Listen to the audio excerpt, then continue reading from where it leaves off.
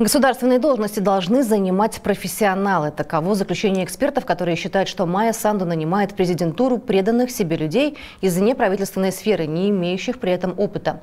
Заявления прозвучали в контексте назначения советником президента в области обороны и нацбезопасности человека, занимающегося защитой жертв торговли людьми. Советником Майи Санду по нацбезопасности стала Анна Ревенко, основательница неправительственной организации «Ластрада». Она также будет выполнять обязанности секретаря Высшего Совета Безопасности.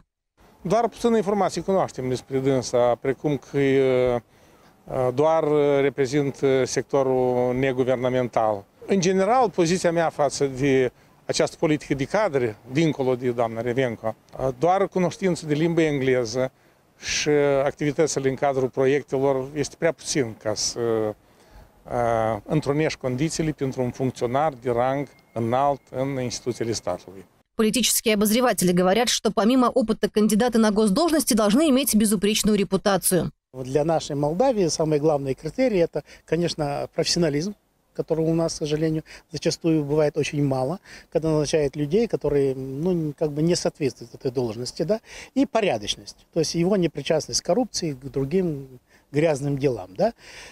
В этой ситуации, конечно, Майя Санду должна доказать э, общественности, что она, э, призывая бороться с коррупцией, комплектует государственный аппарат, в частности своих советников, исключительно э, из людей порядочных и профессиональных. Назначения в президентуру до сих пор сопровождались несколькими скандалами. В прессе было опубликовано несколько материалов о том, что генсек администрации президента Андрея Спыну уклоняется от уплаты налогов. Его декларация об имуществе стоимость дома, которая составляет 8 миллионов леев, была уменьшена в пять раз.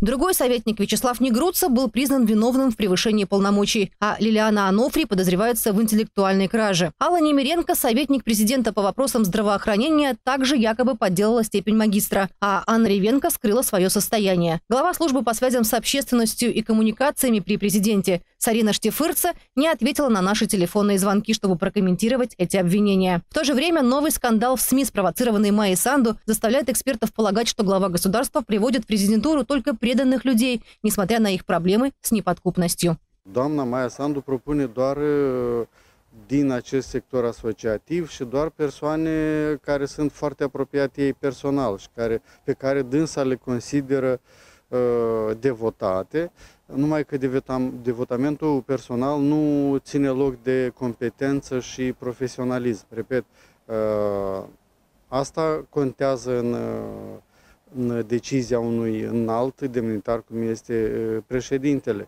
să ai inclusiv oamenii potriviți, oamenii capabili să ofere pe domeniile lor uh, politici relevante și care ar fi eficiente și utile pentru cetățeni. У Майи Санду 10 советников.